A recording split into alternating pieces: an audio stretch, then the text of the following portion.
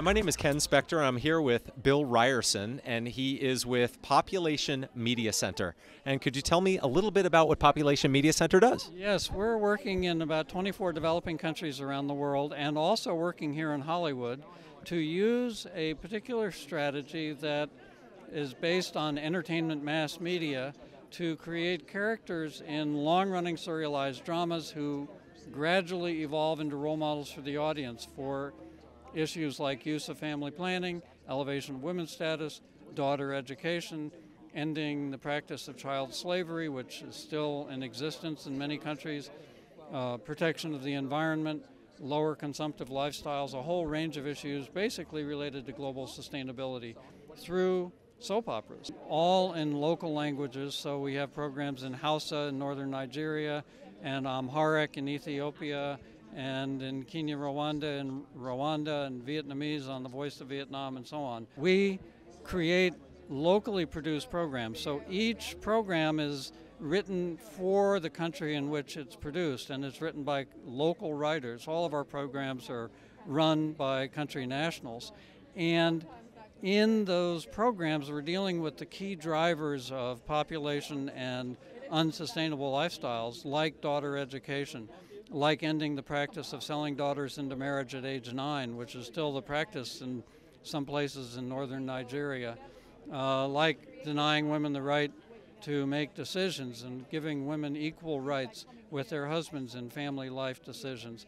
So we're role modeling those kinds of cultural shifts in line with the laws and policies of the countries where we're working um, in order to help them achieve their goals in creating programs that, in fact, become the top rated shows on the air in many of the countries where we're working. How long have these shows been produced by Population Media Center, and have you seen any statistics which show success of your programs? We've been working um, since I started the organization in 1998. Our first program went on the air in 2002. And just to give you the data from that program, uh, it had 46% uh, of the population of Ethiopia as regular listeners to the program. In this case, it was a radio drama because only 4% of the population of Ethiopia can afford a TV, but most people have radios. So we had a huge audience.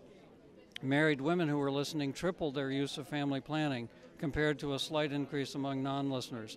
Male listeners went for HIV testing, which we role modeled in the program at four times the rate of non listeners, female listeners at three times the rate of non listeners.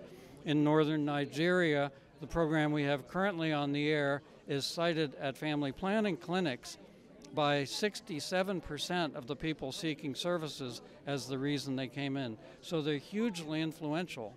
But they're not telling people what to do. They're just role modeling behaviors and showing the realistic outcomes of those behaviors, good and bad, and the audience is deciding whom to emulate. So it's very respectful of audiences' decisions, you know, and giving them the right to decide whom to emulate rather than the typical health message of do this and don't do that. It's using media to make the planet sustainable. Do you cover other issues like uh, perhaps an actor purchasing something uh, that's not out of a plastic bag, bringing his own bag? I guess that's not as big of a problem in some of these other countries, but purchasing products in better packaging, for instance.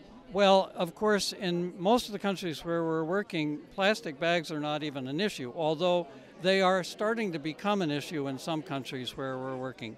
We are planning a program for the U.S., and we will address consumption issues here uh, assuming we get the program going. This is not an easy market for a small NGO to work in. Where do you see the future of the, the media project in the next 10 years? Well, right now, as I mentioned, we are working in 24 countries. We want to broaden out into many more countries.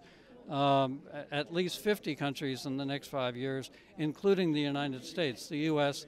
has a huge impact on the environment, people's consumption behaviors, and their family size decisions are critically important. So we want to work in this country as well as countries like India and Pakistan to use the same strategy to benefit both the people of those countries and the planet. So, where can someone go to learn more about your organization? They can visit populationmedia.org and, and actually listen to some of the episodes of our programs.